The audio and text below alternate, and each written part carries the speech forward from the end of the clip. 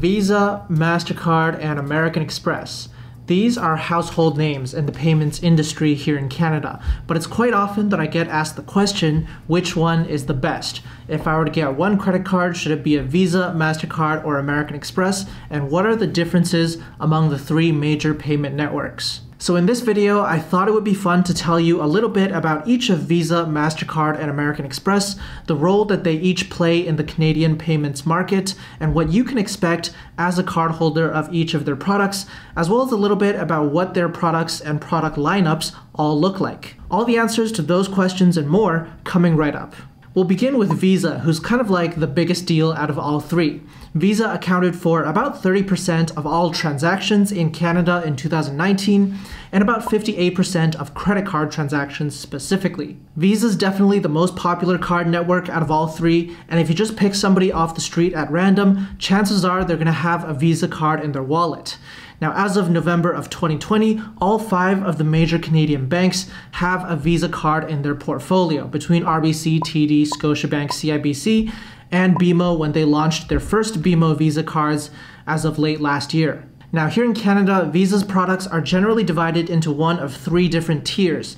The first tier is kind of like the basic entry level set of cards. It's called Visa's Classic Gold or Platinum tiers. So examples might be the CIBC Aventura Visa Gold card or the TD Aeroplan Visa Platinum card. These cards generally don't have a minimum income requirement and they also tend to be the easiest to get approved for if you're a new customer to the bank or the issuer. Now at the same time, these cards also tend not to have the best earning rates or benefits or sign-up bonuses those tend to be found on the higher tier Visa Infinite and Visa Infinite Privilege cards. At the Visa Infinite level, you're looking at a minimum annual income of $60,000 in personal income or $100,000 in household income. Now, these tend to be enforced pretty strictly in the sense that if you put down an income of $50,000 in personal income, you're definitely going to get rejected. But they also tend to be enforced not so strictly in the sense that enforcement is up to the individual bank or issuer to check for proof, and oftentimes they don't check for proof. At the Visa Infinite level, you're also looking at a small amount of travel benefits just for having the card, although this does tend to vary from issuer to issuer and is not really a consistent benefit across all Visa Infinite cards. For example, Scotiabank and CIBC's flagship Visa Infinite cards will give you Priority Pass lounge access with up to six complimentary lounge visits per year, and CIBC's flagship Aventura card, as well as TD's Aeroplan Visa Infinite, also gives you a $100 Nexus credit on top. Now, the Visa Classic, Gold, Platinum, and Infinite cards tend to have annual fees that range between $0, so no annual fee credit cards, and about 120 to $139 at the high end for a Visa Infinite card. And from that price point, there's going to be a big jump up to the top tier Visa Infinite Privilege level, which is for the high end premium cards that command high annual fees and have high minimum income requirements. In terms of annual fees, these high end cards tend to be priced at 399 499 or in the case of TD and CIBC's new Aeroplan Visa Infinite Privilege cards, 599 Canadian dollars per year. And there also tends to be really high minimum income requirements on these cards, with personal annual income starting at $150,000 and household income at $200,000. Now, in order to justify those huge annual fees, you can also expect the Visa Infinite Privilege cards to go above and beyond in terms of the earning rates and the card benefits, if not the welcome bonus as well. Every Visa Infinite Privilege card on the market offers some way to earn more than one point per dollar spent on your purchases, although there does seem to be a huge degree of variance. It's really on the travel benefits side that Visa Infinite Privilege cards tend to have a little bit more uniformity, offering at least six complimentary visits to a Priority Pass lounge every year, as well as priority airport benefits at select airports around Canada, including Ottawa, Montreal, Vancouver, and Toronto Billy Bishop. Then you have things like the Visa Infinite Privilege Hotel Collection, which gives you a little bit of extra perks when staying at luxury hotels, although it's not quite as strong as the American Express Fine Hotels and Resorts program that we're going to talk about later. There's also things like Visa Infinite Privilege, dining, wine tasting, and golf club opportunities you know, select rich people things that you can do just for having a Visa Infinite Privilege card in your wallet. Overall, considering the Visa credit card portfolio in totality, I do think it's the most well rounded credit card network in Canada. Whether you're interested in just one card that's going to suit your needs in the long run, or you're interested in sampling a whole bunch of different credit cards, maximizing the welcome bonus and the benefits on each one, you're going to find something in the Visa family that's a good fit for you. And that's especially the case with how widely accepted Visa cards are both here in Canada and abroad.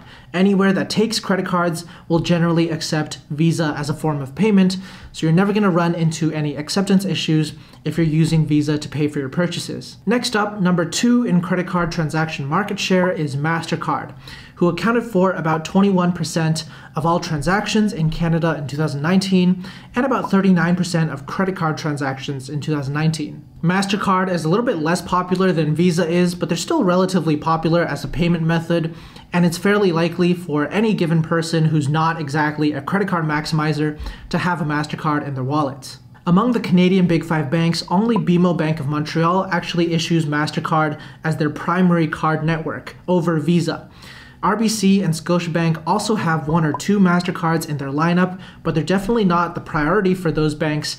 And TD and CIBC used to issue Masterbanks but have since discontinued their MasterCard products. On the other hand, it does seem like the MasterCard network is more popular with issuers outside of the traditional Big Five banks like HSBC, MBNA, Rogers Bank, PC Financial, Canadian Tire, and so on and so forth. If you're somebody who likes to dabble with a bunch of different issuers and maximize the benefits on all of them, then you're quite likely to run into a compelling MasterCard option at one point or another. The core and world level MasterCards tend to have minimal annual fees, income requirements, and card benefits to match. In the meantime, the World Elite MasterCard level is where all of MasterCard's top tier products are found. World Elite MasterCards require a minimum annual personal income of $80,000 or a minimum household income of $150,000. So that's a little bit higher than the Visa Infinite level over on the Visa side, but lower than the Visa Infinite Privilege level. It's a little bit between the two. But here's something interesting about World Elite MasterCards. Not all of them actually have annual fees that are befitting of the minimum income requirement of $80,000. In fact, there are actually a few no annual fee World Elite MasterCards, like the Rogers World Elite MasterCard or the Canadian Tire Triangle World Elite MasterCard. So that could be a potential sweet spot there if you're somebody who's interested in maximizing the benefits of World Elite level MasterCards, but you're not interested in paying any credit card annual fees. Speaking of those benefits, World Elite MasterCards will typically come with a free Boingo Wi Fi membership, which allows you to connect to over 1 million Boingo Wi Fi hotspots around the world, including many airports and some airlines as well, like WestJet here in Canada. Then there's usually a membership to the MasterCard Lounge Key program included with your World Elite MasterCard, which is basically MasterCard's version of the Priority Pass Lounge network around the world. However, the Lounge Key portfolio is a fair bit smaller than Priority Pass's Lounge network, and you also don't get any complimentary lounge visits as part of a World Elite MasterCard, so overall I'd say that Visa's airport lounge offering is still stronger. Throw in the stronger travel insurance benefits, the MasterCard concierge, and the priceless experiences by MasterCard, which is kind of like a series of cool experiences that you can go on in different cities around the world.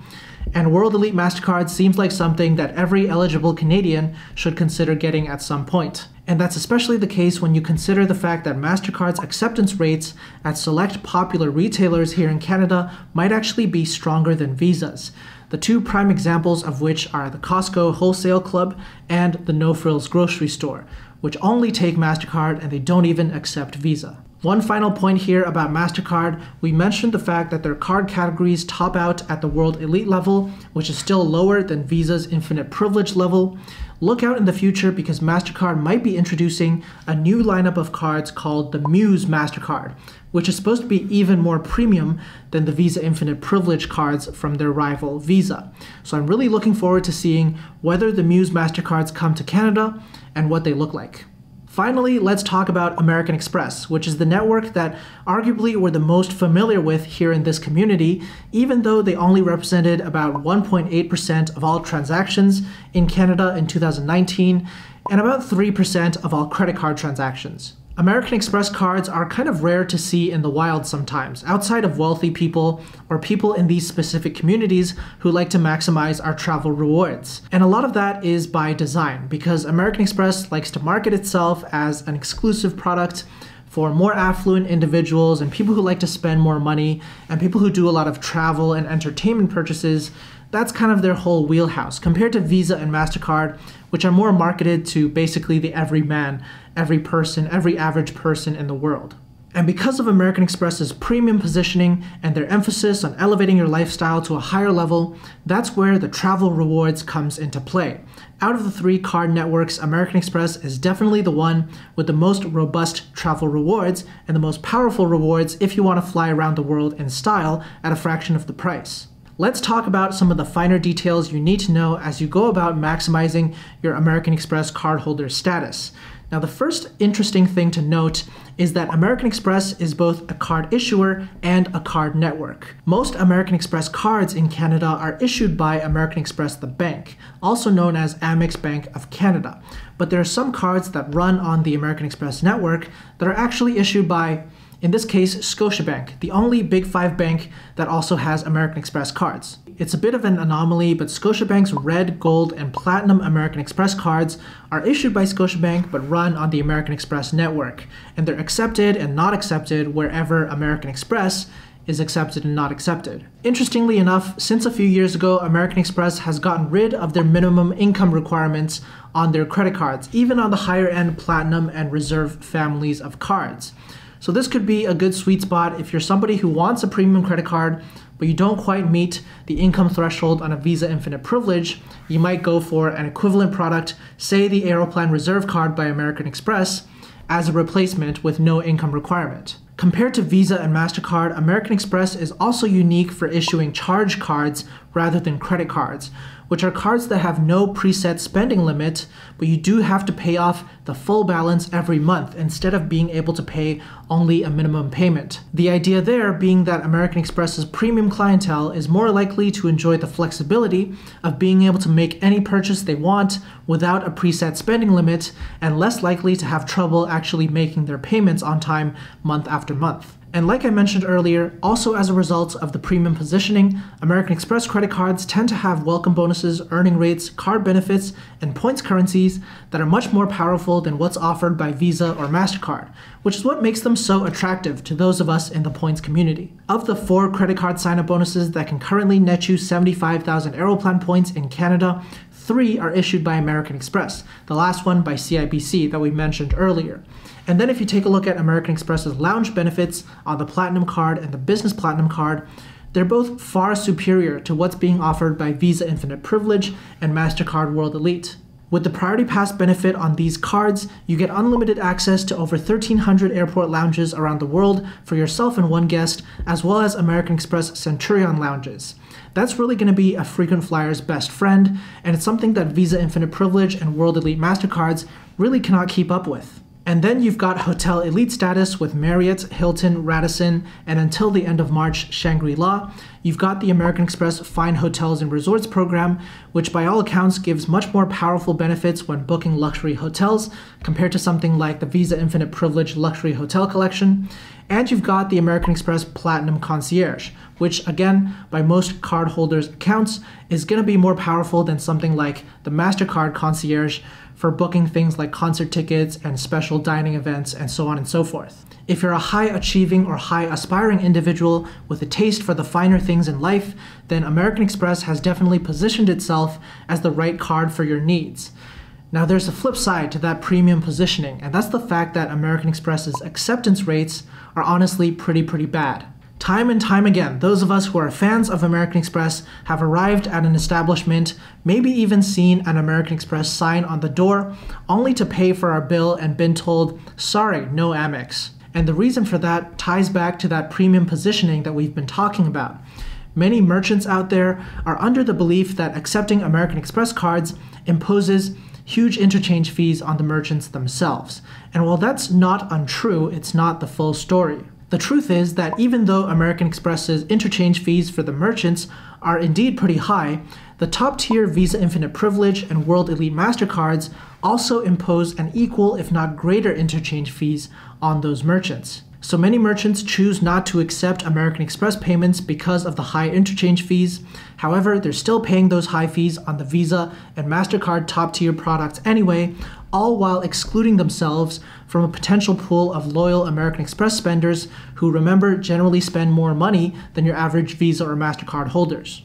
If you go somewhere that seems to advertise that they take American Express but ends up asking you not to use your American Express card as a form of payment, then you can actually report the non-compliance on takeamex.ca.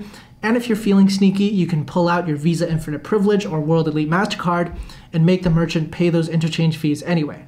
Obviously, if it's a small business that you want to support, then using a lower tier Visa or MasterCard would impose lower interchange fees on the business.